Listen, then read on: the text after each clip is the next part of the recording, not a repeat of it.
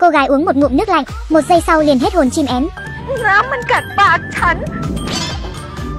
Anh cảnh sát Pipop uống thử một hớp, ủa khùng, bốc phét quen thân. Hóa ra vừa rồi cô gái cổ đại này đi qua một bức tranh cổ xuyên không về hiện đại, mọi thứ trước mắt đều trở nên xa lạ, thậm chí đến nhà mình cũng không nhận ra. Mẹ cô tay cầm roi đang đứng chờ trước cửa, bà chuẩn bị tẩm quất đứa con khó bảo này một trận. Ai ngờ con gái khóc lóc ngoan ngoãn quỳ xuống hành lễ, rồi ôm lấy chân mẹ khóc thút thít. Bố mẹ cô mắt tròn mắt dẹt, rõ ràng con mình bình thường đanh đá như hổ cái, sao hôm nay lại ngoan dữ vậy? Kêu về phòng nhìn những đồ vật kỳ lạ trước mắt. Khóc lóc xong thì lăn ra ngủ, mong rằng đây chỉ là một cơn ác mộng. Bên này óc con xuyên không về cổ đại thì đang ngủ trương thây. Buổi sáng vừa tỉnh dậy đã mặc đồ bơi rồi nhảy cái tủm xuống hồ. Người hầu sợ đến mức hồn bay phách lạc. Oppon đang tung tăng bơi lội trên hồ thì người hầu gọi lên. Nhân chi sơ tính cả khịa cô chơi bài ngụp lặn luôn. Người hầu đứng trên bờ gào khóc thảm thiết. Luông cũng hốt hoảng tìm kiếm tứ phía. Một giây sau Oppon như nàng tiên cá xuất hiện trước mặt anh. Còn tinh nghịch thả thính anh mấy câu, rồi bảo anh im lặng dùng. Thấy gái là sáng mắt lên, luông tùm tà tùm tìm. Một giây sau Oppon lại xóa tóc rũ rượi như con ma ngoi lên dọa người hầu. Người hầu sợ đến mức ngã lăn ra đất vùng vẫy. Luông ở trên thuyền quay đầu nhìn Oppon. Oppon không quên vẫy tay chào anh. Anh lại e thẹn vội quay mặt đi. Về phòng Oppon không biết mặc quần áo cổ trang, phải gọi người hầu vào giúp. Cô ra ngoài, hai mắt láo liên nhìn quanh tứ phía, cuối cùng nhìn thấy cấp dưới của cha đang chẳng nhau. Oppon ngứa ngáy chân tay, liền khởi động gân cốt chuẩn bị xông pha. May mà người hầu ngăn lại, sau đó đưa cô đến nhà bếp, nói nấu ăn mới là bổn phận của cô. Tưởng đâu là bố mẹ đang muốn kiểm tra mình. Thế là hỏi người hầu giấu camera ẩn ở đâu. Họ làm sao hiểu được mấy ngôn ngữ kỳ lạ của cô. Thế là chẳng ai thèm quan tâm cô Được thôi, thích chơi diễn kịch thì chị đây chơi tới bến Dăm ba cái trò nấu cơm mà đòi làm khó chị à Có điều thân là một cảnh sát chỉ biết cầm súng không biết cầm muôi Nên vừa động vào đã suýt cháy nhà Hú hồn cái hồn còn nguyên Cha mẹ cô thấy vậy mà ngỡ ngàng bật ngửa Sao con gái hiền thục của mình giờ lại đoảng hết phần thiên hạ thế này chắc chắn là nó bị ma nhập rồi. Thế là họ gọi đến một pháp sư trừ yêu, ông ta cầm roi mây, định thượng cẳng chân hạ cẳng tay. Ai ngờ chị đại óc con tung trưởng pháp sư ngã lăn quay. Sau đó cô liền thể hiện tài diễn xuất của mình. Ha cứ trâu ban trâu rửa, hà chay bao quê xì may, bút sao còn than, mi buôn nặng sặc dày, phải phạt nga, chắc năm phải vòng tập thôn chơi rừng rung rường. Dạ hay em hỏi thiệt มีบุญหนักสักใหญ่ ภายภาคหน้าจะนำไปวงตระกูลเจริญรุ่งเรือง อย่าให้ไอ้หมอผีมากระทำย่ำยีแม่หญิงผู้นี้ไม่เช่นนั้นแล้วก็ ฉันจะจับจับจับจับจับจับพวกมึงทุกคน ให้ชีวิตมันสงบสุขอีกต่อไป Không ngờ diễn xuất giả chân này của chị lại lừa được cả nhà. Bên này kêu ở hiện đại mới sáng sớm tinh mơ đã thổi lửa nấu cơm. Người làm hoảng hốt vội hất xô nước để dập lửa. Mẹ không hiểu con gái đang yên đang lành chơi trò gì kỳ vậy. Kêu bỗng nhiên hành lễ, rồi bắt đầu giải thích là mình muốn nấu một bữa cơm cho bố mẹ. Trời ơi cái quần què gì vậy? Con gái tôi từ bao giờ lại nữ công gia tránh thế? Lần vào bếp duy nhất và cũng là cuối cùng suýt thì đốt nhà. Bà chắc chắn con gái đang diễn trò gì với mình rồi, nên đã dặn người làm canh chừng cô chủ. Bố cô tinh tường phát hiện con gái hình như đã biến thành người khác, cứ như là người cổ đại xuyên không về đây vậy. Nghe xong, mẹ càng chắc như đinh đóng cột. Con gái đang cả khịa chuyện bị bắt đi học lễ nghĩa truyền thống, nên mới diễn kịch với mình đây mà. Bên này kêu vào nhà tắm gội rửa bụi trần, sờ sờ vòi hoa sen mãi vẫn không hiểu mô tê gì. Vừa mới vặn vòi, nước đã ồ ạt dội lên người. Cô sợ hãi bỏ chạy mất dép. Trong phòng đó có mưa, kỳ lạ quá trời. Người làm thấy cô còn kỳ lạ hơn, đem cho cô vài bộ đồ để đi tắm, nhưng có chết cô cũng không chịu vào phòng tắm, mà lại đến hồ bơi tắm gội, hòa mình với thiên nhiên, hồn nhiên như cây cỏ.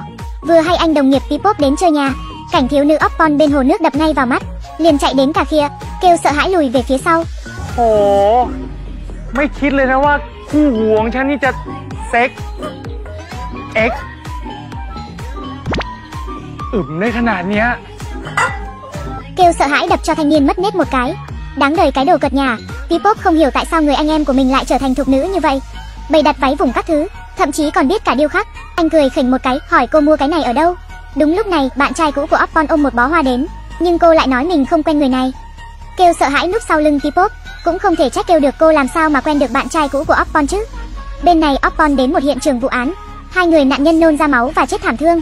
Còn cô liền bật ngón tay cái khen ngợi họ dàn dựng công phu.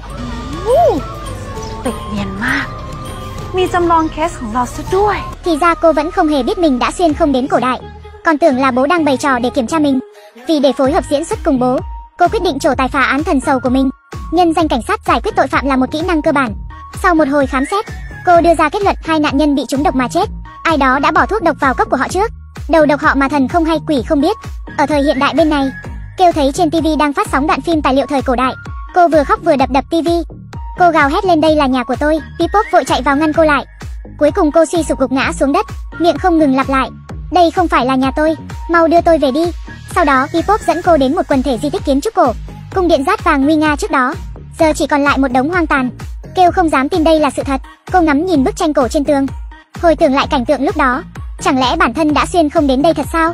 Vì để thích ứng với cuộc sống mới, cô bắt đầu học hỏi các kiến thức hiện đại, thay quần áo của người hiện đại.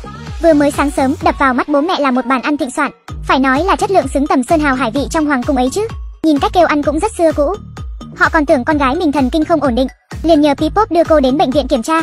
Kết quả kim còn chưa chạm vào da, kêu đã sợ hãi ngất xỉu. Sau khi kiểm tra tổng thể, thần kinh của cô hoàn toàn bình thường. Bác sĩ đoán có thể cô ấy gặp phải đả kích gì đó dẫn đến mất trí. Một hôm kêu lên chùa cầu nguyện, đột nhiên bị gió quật sấp mặt. Bóng ma của một võ sĩ xuất hiện sau lưng cô. Võ sĩ này là người trong bức tranh cổ đại đó. Vì bị đuổi giết khi cầm theo bức họa, cuối cùng khi xuyên không đến hiện đại thì ngòm. Võ sĩ nói với kêu, thời gian trôi qua, tất cả sẽ được giải quyết êm đẹp. Kêu vẫn định truy hỏi anh ta, thì anh ta liền biến mất dạng. Đến bây giờ cô mới thực sự chấp nhận sự thật rằng bản thân đã xuyên không. ฉันจะอดทนรอ วันที่ได้กลับไปสู่ภพชาติที่จากมา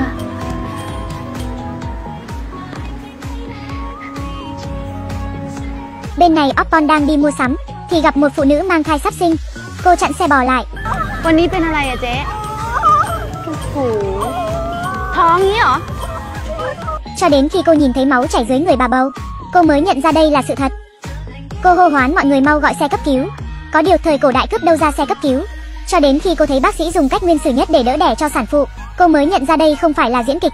Bản thân thực sự đã xuyên không về cổ đại. Cô vẫn không thể tin nổi đây chắc chắn không phải là sự thật. Cô có chút suy sụp không biết nên làm gì. Lẽ nào cả đời này cô không thể trở về nhà mình nữa? Nhưng chưa chán đời được bao lâu. Nếu đã không thể quay lại, vậy thì cứ chơi cho đã rồi tính sau. Mới sáng sớm đã lôi người hầu cùng đi lượn lờ. Nhìn cái gì cũng thấy hiếu kỳ. Sau đó cô cùng mẹ đến hoàng cung bái kiện hoàng hậu. Cô vô cùng phấn khích khi vào cung, thế là chạy loạn trong cung như nhà mình. Sau khi diện kiến hoàng hậu, hoàng hậu nói người vừa hay muốn có một túi thơm, bảo cô và gót mỗi người làm một cái. Nhưng Oppon nào có biết làm túi thơm. May mà lúc xuyên không về cổ đại, trong túi cô có mang theo một lọ nước hoa, thế là cô đã lén xịt nước hoa vào túi thơm. Kết quả hoàng hậu vừa ngửi đã rất thích. Từ trước đến nay, bà chưa từng ngửi thấy mùi hương thơm như vậy. Oppon cũng nhờ vậy mà được khen thưởng. Điều này khiến hai mẹ con có tức ra mặt. Thế là họ liền tung tin đồn cô bị bọn cướp bắt cóc và bị hủy đi sự trong trắng. Lời đồn truyền đến tai hoàng hậu. Hoàng hậu tìm Oppon hỏi chuyện. Oppon nói cô quả thật đã bị bọn cướp bắt đi, nhưng không có chuyện gì xảy ra. Cót ở bên này không có ý tốt còn đổ thêm dầu vào lừa. Hoàng hậu yêu cầu Oppon chứng minh sự trong trắng của mình. May mà người hầu đã tìm luôn tới. Luông giải thích khi đó anh đã đến cứu Oppon, mới loại bỏ được tin đồn này. Oppon biết Cót muốn hại mình, thế là cô giả vờ nhân từ tha thứ cho cô ta.